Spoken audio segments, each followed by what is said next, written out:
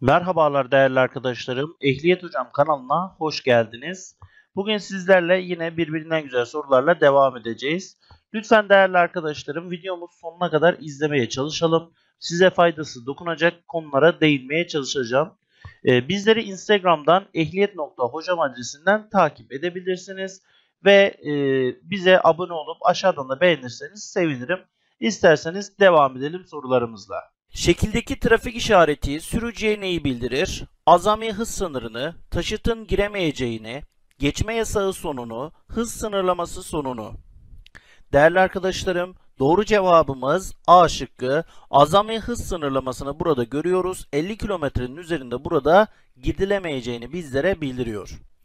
Aşağıdaki durumların hangisinde karayolları trafik yönetmeliğinin aynı cins taşıtlar için tayin ettiği hız sınırını aşan taşıt sürücülerine ceza verilmez. Kavşaklara yaklaşırken, sağa veya sola dönerken, bir başka araç tarafından geçilirken, iki yönlü karayolunda öndeki araç geçilirken. Doğru cevabımız D şıkkı olacak arkadaşlar. Aynı cins araçlar ne demek bu? Ya kamyonet kamyoneti veya da otomobil otomobili geçerken eğer hız sınırını geçerlerse bunlara ceza uygulanmaz arkadaşlar. Seyir halindeki aracın gösterge panelinde aşağıdaki ikaz ışıklarından hangisinin yanıyor olması trafik kurallarına uymak şartıyla derhal durulması gerektiğini bildirir. Evet, altta bizlere verilmiş arkadaşlar. Doğru cevabımız evet. Bu bize alternatörün çalışmadığını bildirir. Peki sadece alternatörün çalışmaması yani alternatör neydi? Aküyü şarj eden motorumuzdu bizim elektrik motoru at, aküyü şarj ediyordu değil mi? Ee, peki bunun durması bizim yani akü biter sadece diye düşünebilirsiniz. Arkadaşlar bunu döndüren bir kayış vardır ve eğer o kayışı koparsa diğer e, oradaki kayışlara vesaire dolanabilir ve daha büyük bir hasara yol açabilir. O yüzden bu yanıyorsa derhal aracımızı sağa çekip durduruyoruz ve ilgili servisi arıyoruz. Kalemi açayım şöyle. Arkadaşlar bunu gördüğümüz zaman arka cam rezidansının, ısıtma rezidansının buğulanma veyahut da işte donmayı önlemek için arka cam rezidansının açık olduğunu bizlere gösterir. Bu sola sinyalin açık olduğunu gösterir. Bu ise bizlere mavi olarak yanar arkadaşlar aracımızda ve uzun farların açık olduğunu bizlere bildirir. Saatte 130 km hızla giden bir otomobilin öndeki araç ile olan takip mesafesi en az kaç metre olmalıdır? 60, 80, 65, 30. Doğru cevabımız C şıkkı 65 olacak arkadaşlar. Bunu neye göre belirliyoruz? Verilen sayıyı 2'ye bölüyoruz arkadaşlar. Sürekli olarak bize mesela 60 km hızla gidiyor olsaydı 60 bölü 2 yapacaktık. 60 bölü 2 de 30 verecekti bize. 30 metre mesafeden takip etmemiz gerektiğini öğrenecektik. Yani işin mantığı bölme işlemi yapmak. Daima bize verilen kilometreyi 2'ye bölmek. Evet değerli arkadaşlarım. Şekilde soru işaretiyle gösterilen ve motorun çalışması için ilk hareketi sağlayan parça hangisidir? Alternatör, fan motoru, marş motoru, silecek motoru. Doğru cevabımız C şıkkı marş motoru olacak arkadaşlar. Evet bu bizim marş motorumuzdur arkadaşlar. Burada volan dişlisini görüyoruz. Buradan direkt olarak motorun içine hareketi iletiyoruz.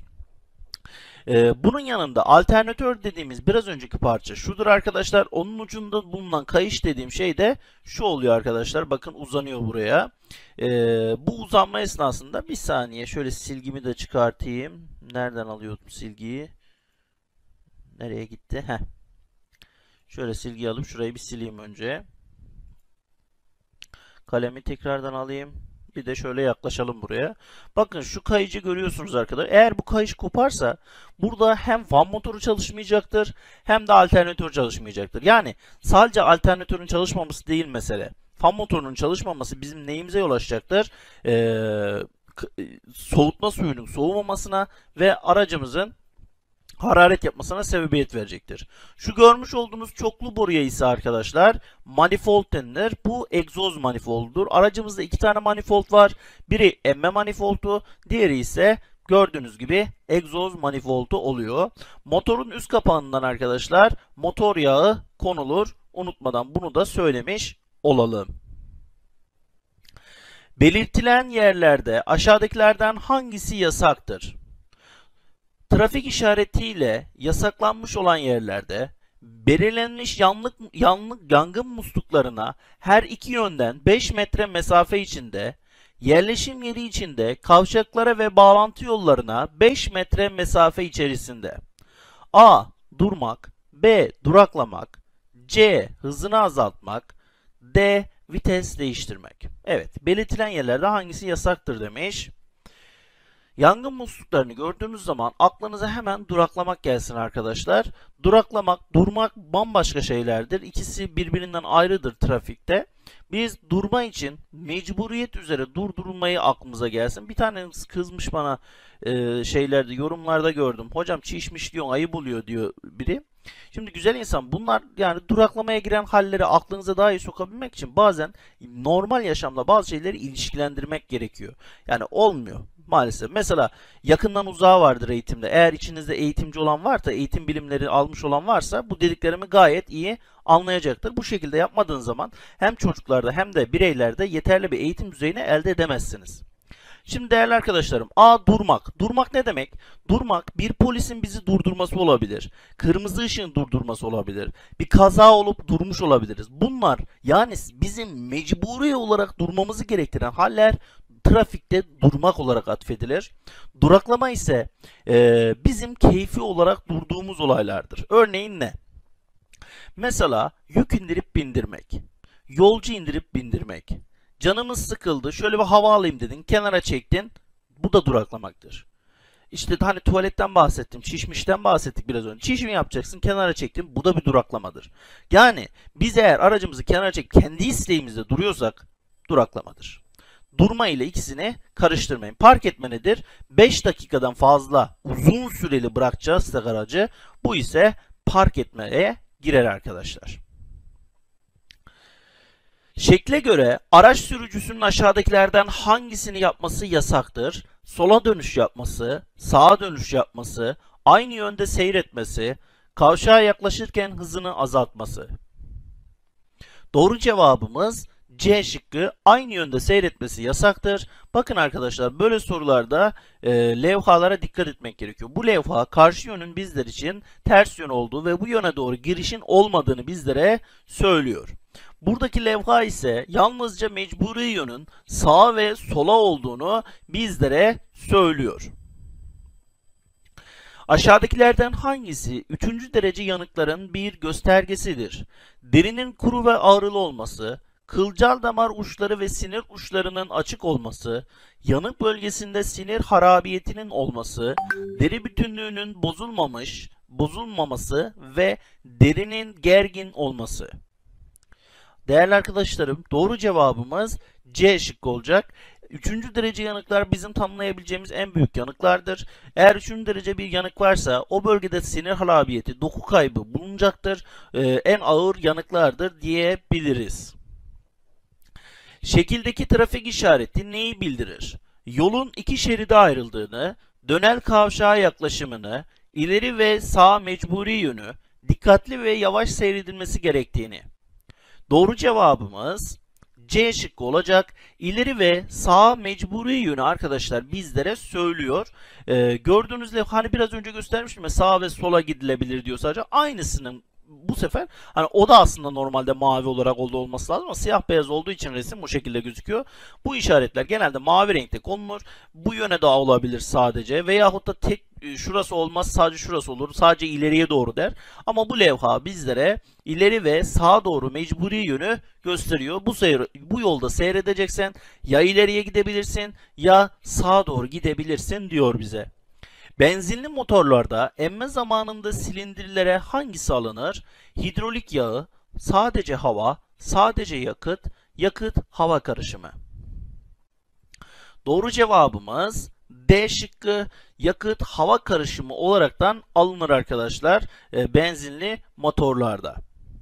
E, yakıt hava alınıyor. Ondan sonra ne yapılıyor? E, tabi bunu karbüratör ikisini oranlı olarak karıştırıyor. Buji de ateşlemeyi yapıyor. Bu arada arkadaşlar uygulamayı indirmek isteyenler yorum kısmına bırakıyoruz linki oradan bakabilirsiniz. Aşağıdakilerden hangisinin her periyodik bakımda değiştirilmesi gerekir? Polen filtresinin, fren hidroliğinin, araç lastiklerinin, soğutma suyunun. Doğru cevabımız A şıkkı olacak. Polen filtresinin her periyodik bakımda değiştirilmesi gerekir. Klimamızın böyle içeriye e, rahat biçimde e, havayı verebilmesi için arkadaşlar. Şekildeki trafik tanzim işareti kamyona hangi anlamda gabari sınırlaması gerek getirmektedir? Yükseklik, uzunluk, genişlik, ağırlık. Arkadaşlar gabari işaretlemelerini daha önce görmüştük. Uzunluğu vardı, genişliği vardı, ağırlığı vardı, hatta dingil başı ağırlık vardı değil mi? Burada ise aracımızın yüksekliğini bildiriyor. Eğer arkadaşlar böyle bir levha görmüşseniz kesinlikle o yükseklikten fazla bir araçla o yola girmeyin. Yoksa trafiği tıkarsınız geriye de dönemeyebilirsiniz. Bakın burada bölünmüş yol var. Bu arkadaş dönemez eğer yüksekse. Mecburen oraya alır geçersiniz sonra. Yaz aylarında kış lastiklerinin kullanılması aşağıdakilerden hangisine neden olur? Aracın maksimum hızının artmasına, lastiklerin daha çabuk aşınmasına, fren sisteminin arızalanmasına, yakıt tüketiminin arızalı azalmasına. Arkadaşlar kış lastiklerini kullanıyorsak lastiklerin daha çabuk aşınmasına sebebiyet verirsiniz. Yaz aylarında kullanmayın, kışın kullanın kış lastiklerini. Hangisindeki arıza sinyal lambalarının yanmamasına sebep olur? Disparatördeki, marş motorundaki, bujilerdeki, flaşördeki. Geçenlerde Instagram'da da bu soruları paylaşmıştım bir benzerini. Doğru cevabımızı öncelikle vereyim D şıkkı. Benim paylaştığım soruda da sigorta ve flaşör vardı. Doğru cevap hem sigorta hem de flaşör ikisi de herhangi biri giderse ilgili sigorta tabii ki sinyal lambaları yanmayacaktır arkadaşlar. Bu ikisini o zaman vermiştim. Bakın çıkmış sorularda da bu varmış arkadaşlar. Taşıt yolu üzerine çizilen şekildeki yatay işaretlemenin anlamı nedir?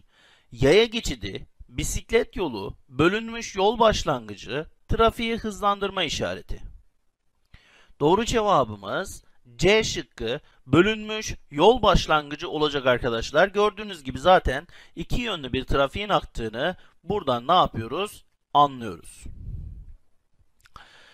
Aşağıdakilerden hangisi dizel motorlarda depodaki yakıtın bitmesi sonucunda meydana gelir? Hava filtresinin kirlenmesi, yakıt deposunun delinmesi, yakıt sisteminin hava yapması, depo kapağı ve çevresinin kirlenmesi. Doğru cevabımız C şıkkı olacak. Yakıt sisteminin hava yapması arkadaşlar meydana gelir dizel motorlarda. E, bu özellikle eski motorlarda sık sık olan e, bir durumdur. Yakıt biter hop kaldın artık vurduracağım diye uğraşırsın falan. Evet, araçların bir mülke girip çıkması için yapılmış olan yolun karayoluna bağlanan ve karayolu sınır çizgisi içerisinde kalan kısmına ne ad verilir? Şerit, banket, geçiş yolu, bağlantı yolu. Doğru cevabımız C şıkkı olacak arkadaşlar. Geçiş yolu olacak. Şeritler biliyorsunuz yolu ikiye bölüyor arkadaşlar. Ee, banketler banketler bizim e, bu yol çizgisinin bittiği yer ile e, Şeybaş arasında kalan kısımdır. E, yaya trafiği için ayrılmamıştır fakat hem yayalar falan oradan gidip gelebilir arkadaşlar. Veyahut aracınız arıza olmuşsa bankete çekebilirsiniz. Bağlantı yolu ise arkadaşlar genelde bir yolu diğerine bağlayan kısa yollardır. Bağlantı yollarına duraklamak veyahut da park etmek kesinlikle yasaktır arkadaşlar. Trafik polisi amcamızın hangi hareketi trafiği yavaşlatma harekettir demiş. Evet polis abimiz bazı hareketlerde bulunmuş. Doğru cevabımız nedir? Evet A şıkkı olacak. Şu levhayı geçenlerde bir, şu işareti geçenlerde birini sormuştuk. Hocam bu ne işe yarıyor demişti. Arkadaşlar bu şu işe yarıyor. Arkasındaki ve önündeki trafiği ne yapıyor arkadaşlar? Durduruyor. Kollarını uzattığı yöndeki trafiği ne yapıyor? Akmasına sebebiyet veriyor. Ceyhun bak bir de sen sormuştun bunu. Şu da arkadaşlar trafiği hızlandırma işaretidir. Geç geç geç diyor arkadaşlar. Karayollarında uzun süreli beklemeyi gerektiren duraklamalarda aşağıdakilerden hangisinin yapılması gerekir? Trafik görevlisine haber verilmesi, motor çalışır halde farların yakılması, aracın başında gözcü bulundurulması, motorun durdurulup el freninin çekilmesi. Arkadaşlar eğer uzun süreli bekleme varsa motoru durdurup el frenini çekip bekleyebilirsiniz. Ha diyelim ki burada gerçekten sisli böyle acayip bir şeyse mümkünse yolu olabildiğince dışına çıkarmaya çalışın aracı dörtlerinizi yakın e, motor çalışır durumda olsun. Bu tabi normal süreçte olan bir şeyden bahsediyor. Sürücünün aşağıdakilerden hangisini yapması kural ihlali sayılır? 3 şeritli ve 2 yönlü yollarda sağ şeritten gitmesi, aracın cinsine ve hızına uygun olan şeridin kullanması, geçme, dönme ve gibi dönme gibi mecburi haller dışında şerit değiştirilmesi, şerit değiştirmeden önce gireceği şeritte sürüklenen araçların güvenle geçişlerini beklemesi. Doğru cevabımız evet. C şıkkı geçme, dönme gibi mecburi haller dışında şerit değiştirmek kural ihlali sayılır arkadaşlar. Cezayı yersiniz. Aman diyeyim böyle bir şey yapmayın. Zaten gereksiz şeylere gerek yok arkadaşlar. Şekildeki trafik işaretinin anlamı nedir demiş. Dur, durak, devam et, dikkat. Bunu dur olarak işaretleyen arkadaşlarım kendini damdan aşağı şöyle bir bıraksın aşağıya serinlesinler. Doğru cevabımız B şıkkı durak olacak. Buralara park etmek yasaktır arkadaşlar. 15 metre falan gerisine ilerisine park edin mümkünse. Ee, devam edelim. Aşağıdakilerden hangisi iç kanama belirtilerinden değildir? Bulantı ve kusma olması, reflekslerin güçlü olması, derinin soğuk ve nemli olması, kulak veya ağızdan kan gelmesi. Doğru cevabımız B şıkkı olacak. Reflekslerin güçlü olması gibi bir durum yoktur arkadaşlar. İş kanamada zaten bir yaralı adamın reflekslerinin aşırı güçlü olması demek o adamın eşek gibi olduğu hiçbir şey olmadığı anlamına gelir değil mi genelde? Ee, yani basit aslında bu sorular. Abartmayın arkadaşlar. Bazınız böyle çok aşırı abartıyor. Düşünün adam KPSS'ye çalışıyor. Ondan daha fazla ehli sınavına çalışan var. Ben buna çok şaşırıyorum. Ee, tabii çok hafif almamak da lazım ama yine de dikkatli olmak gerekiyor. Resimde görülen ilk yardım uygulaması aşağıdaki durumların hangisinde tercih edilmez? Uzuv kopması varsa, baskı noktalarında baskı yapmak yeterli ise, çok sayıda kazazedenin bulunduğu bir ortamda tek ilk yardımcı varsa, kanama durdurulamayan kazazede güç koşulları bir yere taşınacaksa. Arkadaşlar resimde gördüğünüz turnika uygulamasıdır. Ne yapıyorsunuz? Önce bir bezi kapatıyorsunuz. Ondan sonra bir tane daha bezi bağlıyorsunuz iki ucunu. Araya bir sopayı geçiriyorsun. Başlıyorsun döndürmeye. Ne yapıyor burayı? Döndürdükçe vida gibi sıkıyor arkadaşlar. Ee, bunu arkadaşlar eğer baskı noktalarından yeterince baskı yapmak varsa yeterliyse e, gerek yoktur. Eğer uzun kopması varsa yaparsınız. Veyahut da tek ilk yardımcıysanız yanınızda başka bir yaralı daha varsa bunu yapıp diğeriyle ilgilenebilirsiniz ama 15-20 dakikada bir turnikeyi gevşetip tekrardan sıkabilirsiniz arkadaşlar. Kalp damar sisteminin yaşamsız organ, yaşamsal organlara yeterli miktarda kan taşıyamaması sonucu birden ortaya çıkan ve tansiyon düşüklüğüyle seyreden dolaşım yetmezliği durumu aşağıdakilerden hangisidir? Şok, burkulma, kalp durması, kulak çınlaması. Doğru cevabımız A şıkkı olacak. Eğer böyle bir şey varsa doğru cevap A şıkkı şok olacaktır arkadaşlar. Şok pozisyonunda ne yapıyorduk? Hemen onu da göstereyim arkadaşlar. Şok pozisyonunda hastayı düz bir zemine yatırıyoruz. Bacaklarını hop 30 santimetre yukarıya kaldırıyoruz arkadaşlar. Şöyle kafası da şöyle duruyor. Şöyle gözünü de yapalım. Şöyle şey. Heh. Arkadaşlar hastayı bu şekilde yatırıyoruz ve ayaklarının altına 30 santim yükseklikte bir nesne koyuyoruz ki kan ne olsun arkadaşlar ayaklara değil de kafaya doğru beyne doğru gitsin amacımız budur. Kalp masajı yapılacak olan kazazede hangi pozisyonda ve nereye yatırılmalıdır? Sırt üstü sert bir zemine, yüzüstü sert bir zemine, sırt üstü yumuşak bir zemine, yüzüstü yumuşak bir zemine. Doğru cevabımız A şıkkı sırt üstü sert bir zemine yatırıyoruz arkadaşlar. 4-5 bilimlik bir inecek şekilde kalp masajına başlıyoruz. Tabi bebeklerde falan bu değişiyor. Yine onlar arkadaşlar eksik gördünüz. Soruyu mesela yanlış yaptın değil mi bu soruyu? Çek fotoğrafını, yanlış yaptığın soruların ekran fotoğrafını al ya da gece yatarken kardeşim bir geç şöyle üstünden. Veyahut da hiç aklına girmiyorsa aç kitabı bir tekrar et. Benim güzel arkadaşlarıma bunları devamlı söylüyorum fakat hiç bunu yapmıyor. Tam tersine soru ezberine gidiyor. Soru ezberine gittiği zaman da bana tekrardan şöyle geliyor. Hocam ben kaldım. E mübarek sen ezber yaptın. Ezbercinin yeri mezardır. Kalırsın yani sürekli. Ezber yapmayın olabildiğince soruları mantığıyla anlamaya çalışın.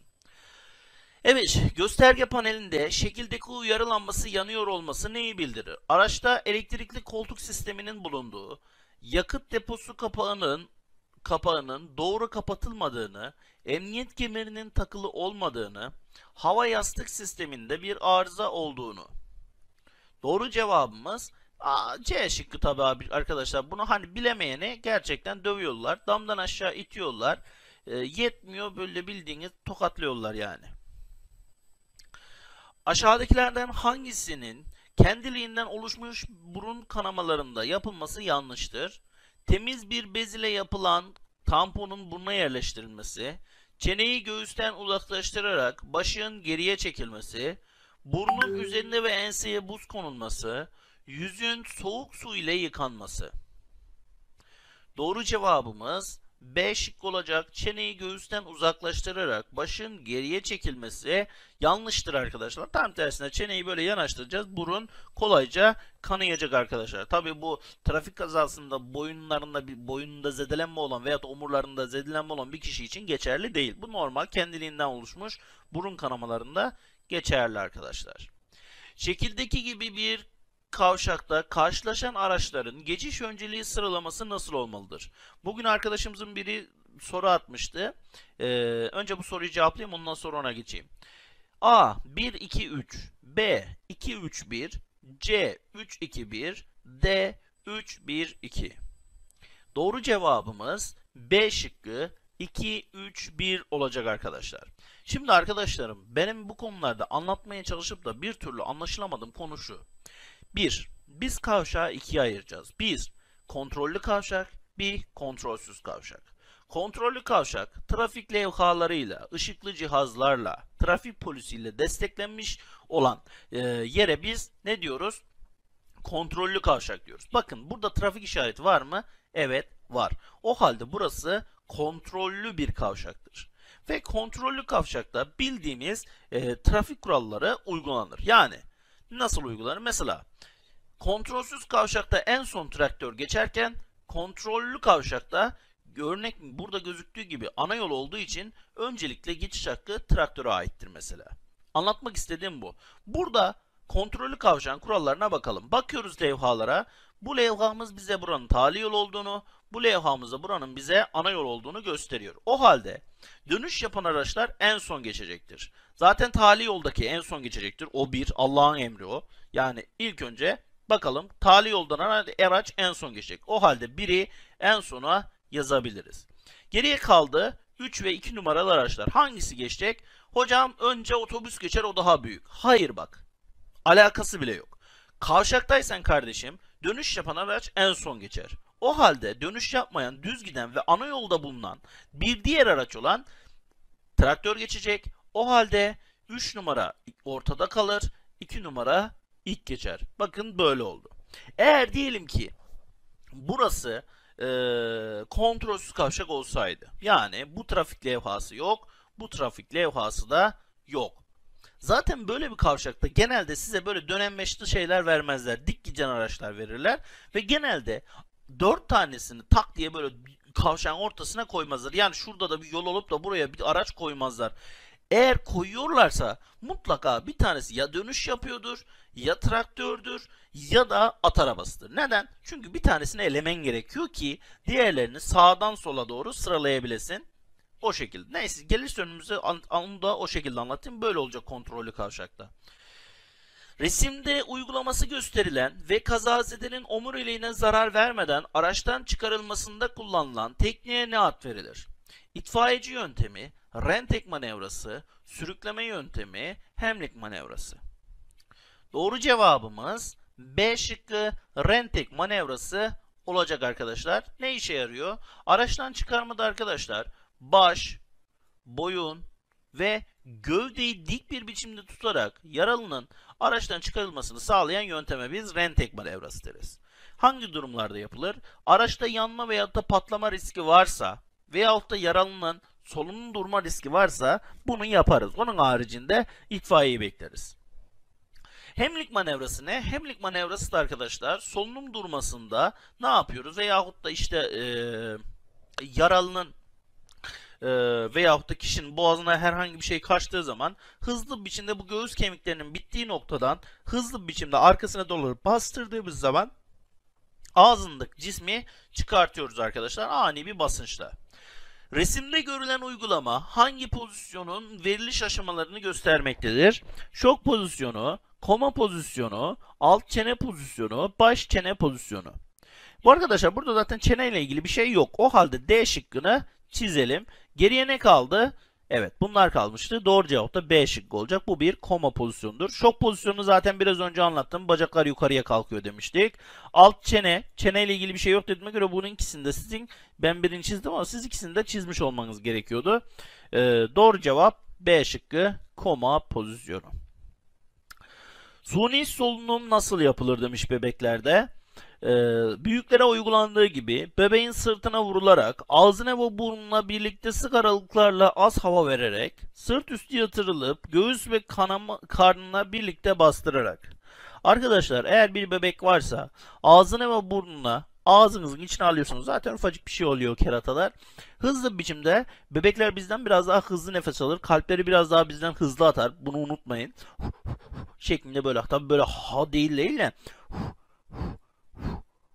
şeklinde e, hızlı ve ama az az hava vereceksiniz. Göğsüne adam balon gibi şişirmeyin. Tamam.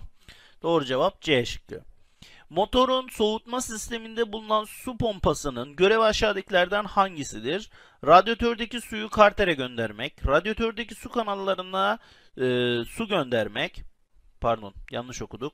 Radyatördeki suyu su kanallarına göndermek, radyatördeki suyu yağ kanallarına göndermek, radyatördeki suyu yanma odasına göndermek.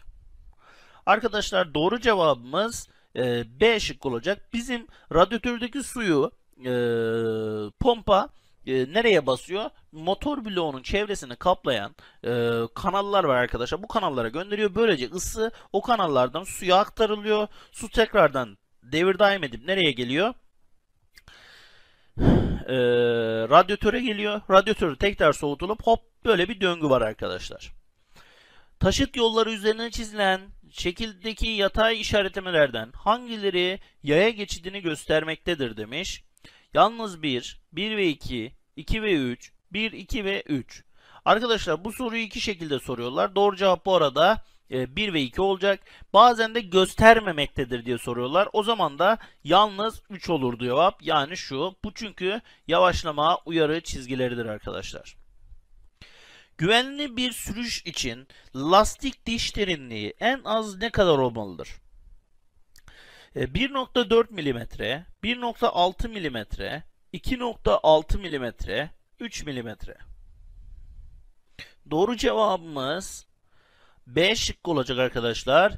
1.6 mm olması gerekiyor. Kalp atımları alınamayan yetişkin bir insana şekildeki gibi pozisyon verilerek yapılan dış kalp masajında göğüs kemiğine uygulanan bası ne kadar çökmeye sağlamalıdır?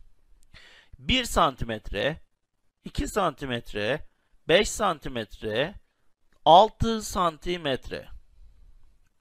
Doğru cevabımız C şıkkı 5 santimetre kadar arkadaşlar bası sağlanabilir. Ee, 10 santimetre basalım diyen bir arkadaş vardı bir ara. İnşallah birine o şekilde kalp masajı yapmamıştır. Dinlenme halindeki sağlıklı yetişkin bir insanda normal nabız kalbin dakikadaki atımı yani kaç de hangi değerler arasında olmalıdır demiş. Ee, 10 ila 20, 40 ila 50, 60 ila 100, 100 ila 120. Tabii ki de C şıkkı 60 ila 100 arasında olmalıdır. hangisi deniz veya nehir kıyısında biten yolu bildirir demiş. Arkadaşlar durdurup şey yapabilirsiniz siz yani elinizde video var. Doğru cevabımız evet bu olacak arkadaşlar bakın düşen bir şey. Ee, burada açılıp kapanan köprüyü göstermiş bize. Burada arkadaşlar kaygan zeminli yolu. Burada e, bizlere gevşek şevi göstermiş arkadaşlar. Uyarı levhalarını görünce ne yapıyoruz? Yavaş, dikkatli ve takip mesafesini arttırarak yolumuza devam ediyoruz. Aşağıdakilerden hangisi park etmede alınacak tedbirlerden biri değildir demiş. El freni ile tespit edilmesi, eğimli yollarda ön tekerleğin sağa çevrilmesi, eğimli yollarda otobüslerin her iki arka tekerleklerine takoz konulması, aracın terk edilmesi halinde camların açık bırakılması. Doğru cevabımız D şıkkı olacak arkadaşlar. Aracın terk edilmesi halinde camların açık bırakılması olacak arkadaşlar. Böyle bir şey yapmamanız gerekiyor. Şekildeki trafik tanzim işaretine göre hangi numaralı araçlar geçme yasağına uymamıştır? Yalnız 3, 1 ve 2, 2 ve 3, 2, 3 ve 4. Arkadaşlar görmüş olduğunuz levha, görmüş olduğunuz bu levha bizlere kamyonlar için ve yük taşıyan araçlar için sollama yasağını bildirir. Burada ise gördüğünüz gibi kamyon abimiz sollamaya katılmış son surat gidiyor. İleride polis amcalar onu çevirecek ve bir bidon dolusu soğuk su ikramında bulunacaklar. Karayolunda bir birim olarak seyretmek üzere birbirine bağlanmış en çok iki römorktan oluşan araçlara ne ad verilir? Arazi taşıtı, taşıt katarı, kamp taşıtı, umum servis aracı. Evet yine bunu çok bilinen bir şey değil. Arkadaşlarımın çoğu şaşırıyor bu konuda. Arkadaşlar hani şöyle bir şey olur. Şöyle bir tane römork düşün. Şöyle bir tane römork düşün. Önde de şöyle bir araç düşünelim. Dur. Çizeceğim inşallah. Ben çok acayip araç çizerim arkadaşlar. Şöyle şu şekilde bir araç düşünelim. Tamam Hatta şöyle penceresi de olsun arabanın tekerleklerini yaptık. Arkadaşlar arkadakini şu şekilde bağlamıştır. Tamam mı? Neydi? Demir gibi bir halkayla geçirmiştir. Bunun arkasından giderken bu römorkun arkasına da yine aynı şekilde bir römork daha bağlanmıştır. İşte biz buna 1, 2 ve bir de bugün kendi römorku da olabilir bu arada. 3 olmuş oluyor kendisininkiyle beraber ama kendisinin haricinde 2 tane bağlanmışsa biz buna B şıkkı kaşıt katarı diyoruz arkadaşlar. Aşağıdakilerden hangileri trafik kazalarında asli kusur sayılır? Arkadan çarpma, kırmızı ışıkta geçme, kavşaklarda geçiş önceliğine uymama. Doğru cevabımız evet D şıkkı hepsi arkadaşlar.